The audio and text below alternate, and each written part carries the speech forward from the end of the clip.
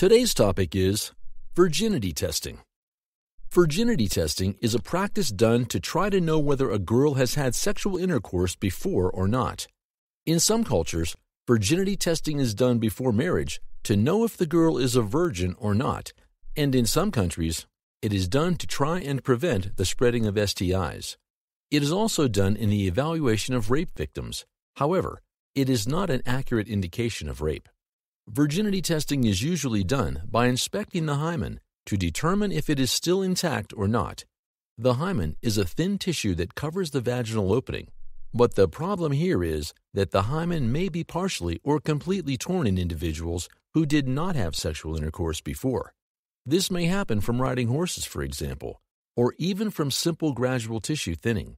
So, checking the hymen in virginity testing is not an accurate or a reliable indication of whether a girl has had sexual intercourse before or not.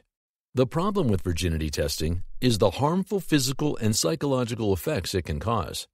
The physical effects include bleeding and infection, and the tests are usually done on many girls at one time and performed by untrained doctors or sometimes normal individuals with no hygiene practices in place.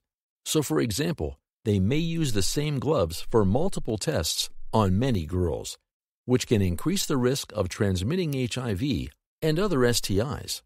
The psychological effects, on the other hand, include the girl feeling violated, anxiety, feeling of guilt, panic, and loss of self esteem. Also, the test can have some long term effects like worsened self and body image, feelings of rejection, isolation, depression, and in some cases, suicidal thoughts. In some cultures, Failing a virginity test means that the girl and her family are shamed and thought of as dishonest. So the girl who failed the test may be punished by being beaten, sexually assaulted, or sometimes even murdered by her male relatives. Other than the male relatives, in some countries, the girl who fails the virginity test may sometimes be punished by jail.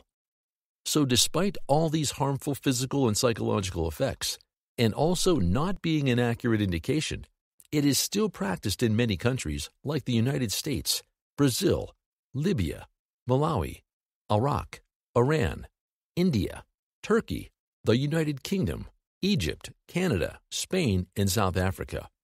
So, the World Health Organization released a statement about the test in 2018, stating that it is unscientific, unreliable, and violates a woman's human rights and leaves harmful short term and long term effects. Thank you for watching our video. Please do not forget to like and share the video. Also, please subscribe to the channel to stay updated on our latest videos.